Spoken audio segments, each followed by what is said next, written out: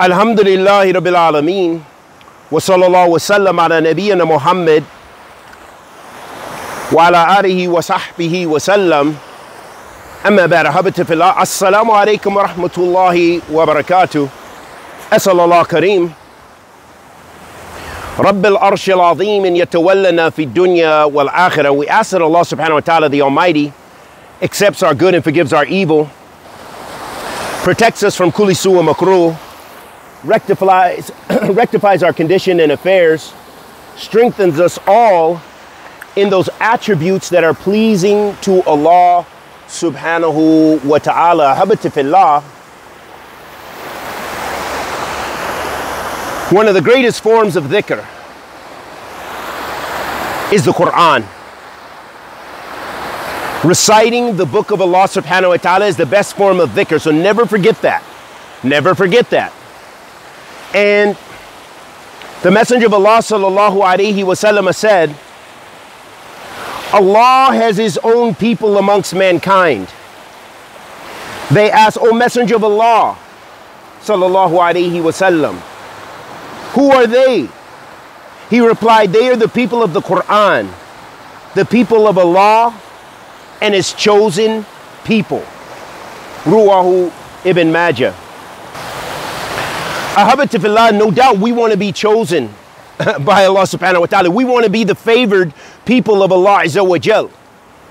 And that comes through embracing our deen, holding on to our Islam, holding on to the book of Allah and the sunnah of the messenger, sallallahu alayhi wa alihi wa sallam.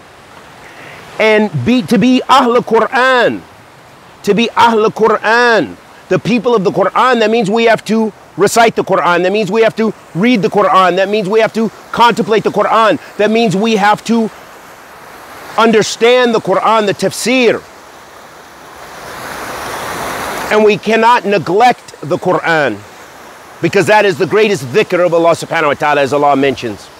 Ahabati fillah in another hadith of Rasulullah sallallahu alayhi wa alayhi wa sallam, the Prophet wasalam said the Quran will be brought on the day of judgment and it will say, for its reciter. My Lord adorn him, so he will be made to wear a crown of nobility. Then it will say, My Lord give him more, so he will be clothed with a suit of nobility.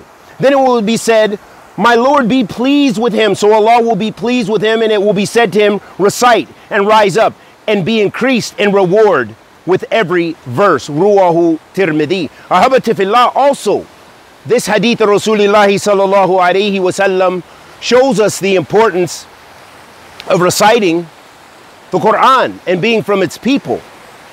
And that this is something very easy for us, especially if you know the language of the Quran and you know how to properly recite the Quran, then you can just pick it up anytime. And if you do not, this can encourage you to learn that language, which is Arabic. And if you are still at a beginning stage where even that is difficult for the time being, of course, you can read the Quran in the, your language, meaning just reading it alone because you're doing the best you can will bring blessings for you. You'll be rewarded and you'll be rewarded with guidance because it's a book of guidance. Allah subhanahu wa ta'ala says, Fi kitabi al-kareem, after أعوذ بالله من الشيطان الرجيم بسم الله الرحمن الرحيم ألف لام ميم ذلك الكتاب لا ريب فيه هدى للمتقين Allah subhanahu wa ta'ala says after Alif Lam Mim here's a book that contains no doubt Hudan lil muttaqin Hudan lil muttaqin It's a guidance for those people uh, who are the pious ones. And then Allah subhanahu wa ta'ala mentions who are the pious ones uh, in the ayat, and we've explained it countless times, and you can go to the uh, tafsir of the mufassirin. But however, ahabatifillah, it shows us the righteous, the pious ones, they recite the Quran, they benefit from the Quran, and it's a guidance for them. Allow the Quran to be in your life and be a source of guidance. May Allah forgive us of our taqsir and our wicked ways of removing ourselves and being far from the Quran. Six. Ahabatifillah. Also, it was narrated and reported on Uthman ibn Affan radiallahu that he said, if your hearts were pure, they would never have enough of reciting Allah's words. And this is in Kitab al-Zuhd li Imam Ahmed.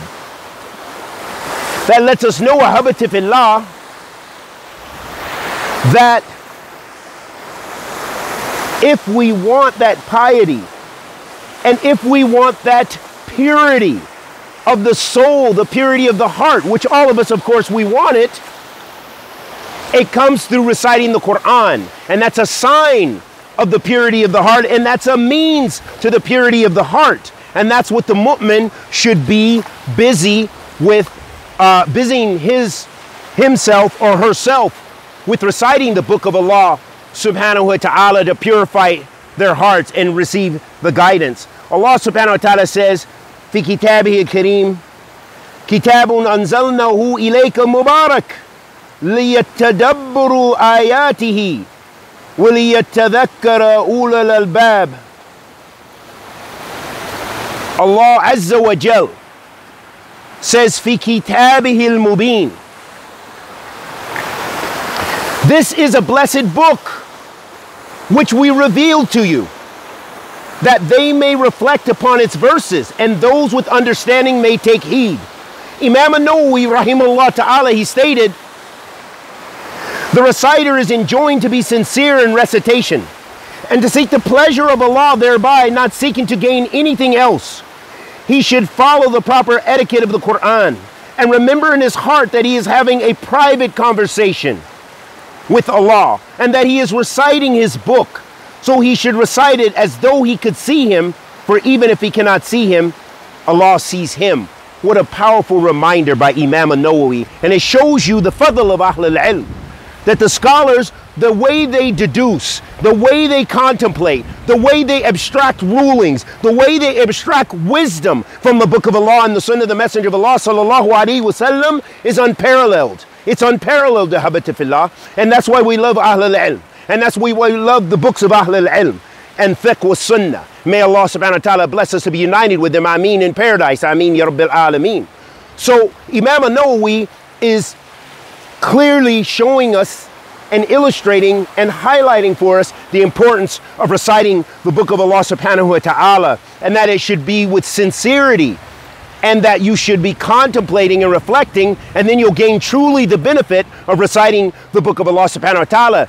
And he's highlighting another important fact and issue which comes from the sunnah of the Prophet sallallahu alaihi wasallam when the messenger sallallahu alaihi wasallam mentioned in the hadith of Jibril alayhi salatu wasalam that the concept of ihsan, the concept of ihsan or ihsan. He said, when the, the Prophet ﷺ was asked by Jibreel والسلام, about ihsan, he said, In ta'budullaha ka'annaka tara, fa'in lam tukun tarahu fa'innahu yarak. It is to worship Allah as if you see Him. Because you can't see Him, know that He sees you.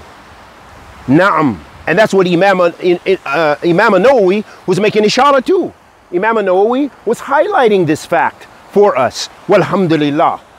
May Allah subhanahu wa ta'ala bless and preserve our ulama that are living and forgive all the ulama that have passed.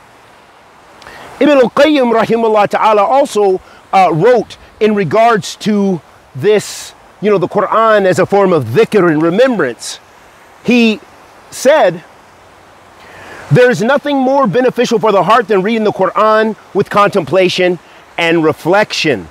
It is the Quran that inspires love and longing for Allah. It generates fear of Him and hope in Him. It makes one turn in repentance to Him and rely on Him. It causes one to fully submit to Him, leave matters in His hands, and be pleased with His decree.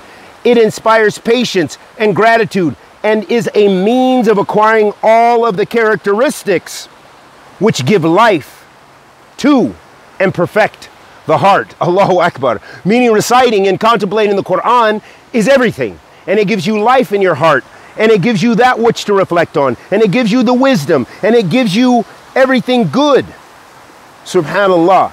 Then Imam uh, Ibn al-Qayyim, he also mentioned, he states, If the people knew what recitation of the Quran with contemplation contains, they would devote themselves to it at the expense of everything else.